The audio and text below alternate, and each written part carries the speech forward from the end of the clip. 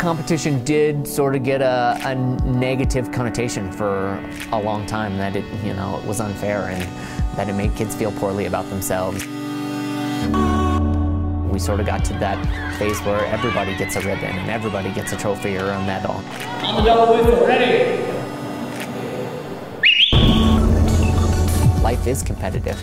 I mean, when you're applying for jobs, when you're applying to get into colleges, you're competing against other kids and, and other people who want that same job as you. Hopefully you're putting your best foot forward and doing everything that you can do to win that job, win that place in school. That's life. You learn more when you lose, bottom line. I'm Doug Baker, PE teacher at Renaissance Magnet School in Castle Rock, Colorado. I teach uh, tumbling, I teach archery, rock climbing. I love football, basketball, baseball, all those sports are great, but there are so many opportunities for kids to do that stuff outside in their community. I'm looking for more lifetime sports. What can I do for the rest of my life to stay physically fit? Cup stacking is a lifetime sport. I am a high school wrestling coach at Douglas County High School here in Castle Rock. I was a, a tennis coach for a few years as well.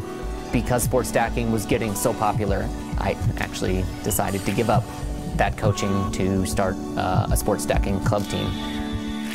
One of the great things about sports stacking is the best kid doesn't always win.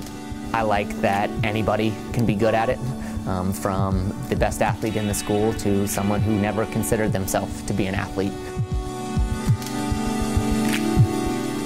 I came across sports stacking when my principal came in and said, we need to use the gym.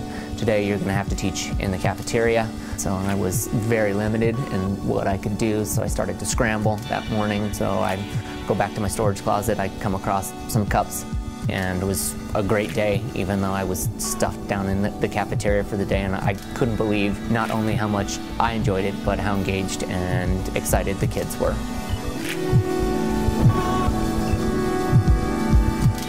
The group order fell into my lap because our kindergarten teacher here was really hooked with sports stacking as well. And she came to me and said, uh, we should do a group order. It helps our school out and, and we can get more stuff here. I probably received 20 to 30 sets of cups, easily a classroom set, and I've almost built up an entire classroom set of mats and timers as well from my group orders. I mean, 10% back from everything that we do is, is huge. In today's age where budgets constantly get cut and you need to find creative ways to get more equipment for yourself, there's no better way and you can't go wrong. I'm never gonna say no to free equipment. Give it a chance. You, never know what's gonna happen in your school and to see the excitement and the growth in your kids almost instantly is very rewarding. I love it. I, I can't believe how much fun it still is 10 years later. It's amazing.